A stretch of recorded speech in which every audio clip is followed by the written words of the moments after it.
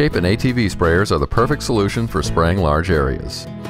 Sometimes, when using a Chapin Deluxe ATV sprayer or mixes on exit sprayer, you may find that the pump will begin to cycle.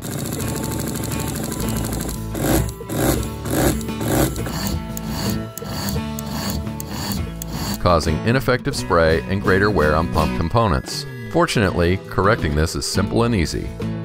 On Deluxe ATV sprayer models, locate the bypass valve connected to the pump. Adjust the bypass until cycling stops and the pump runs continuously. Please note that closing the bypass will stop the pump completely. On mixes on exit models, pump cycling when you're spraying indicates that either the nozzle is not open enough or that the bypass needs to be adjusted.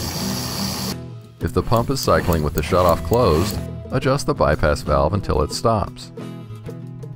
Thank you for choosing Chapin.